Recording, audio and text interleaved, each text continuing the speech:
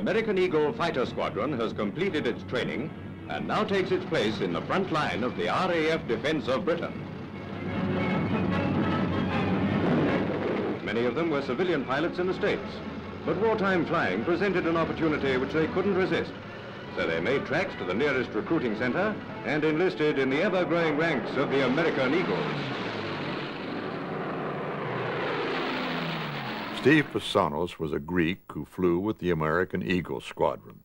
He was the first to get citizenship by dint of serving with the American forces.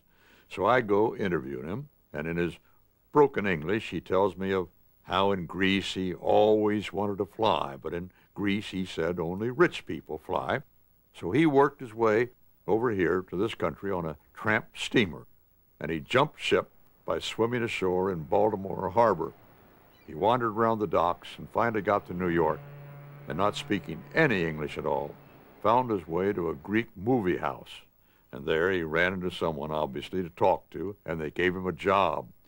Well, he worked in a kitchen shucking oysters. He saved every penny he made, and every time he got $10 together, he would buy a flying lesson. The guys at Westfield Airport loved the Greek spunk. They told him that he could learn to fly for nothing if he'd volunteer with the RAF.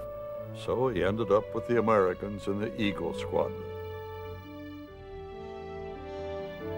Squadron, of course, went overseas early on. When America came into the war, it was taken into the U.S. Air Force. Well, was one of the first fighter pilots over Berlin, it turned out.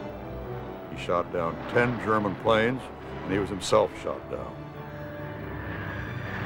Evaded capture for six months, fought his way back finally to the Eagle Squadron.